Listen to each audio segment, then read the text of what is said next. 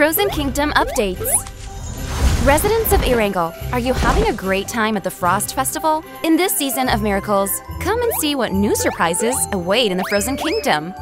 Flying reindeer. In the beautiful snowy village, you'll come to discover a new vehicle exclusive to this season. Don't forget to split up with your teammates to find the reindeer and connect it with the sleigh. With that, you'll unlock the magical flying reindeer. Ride it with your teammates and soar up to 10 meters above the ground and enjoy a panoramic view. If you want to acquire the flying reindeer even faster, head to the Lucky Ice Tower and be the first to ring the bell. A beautiful flying reindeer will respond to your call by descending from the sky. Surprise stockings! Moreover, there are many magical changes in Snowy Village.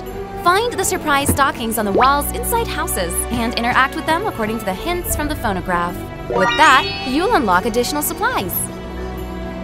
Festive Tree Presents will also grow on the large fire tree in the center of the village. Admire its beauty as you pass by. Don't forget to shoot the presents, as there might be another surprise waiting for you. Soar high in a frosty fight. We're sure you are itching for the new snow battles. For more updates on the Frost Festival, be sure to follow our official PUBG Mobile community. See you next time!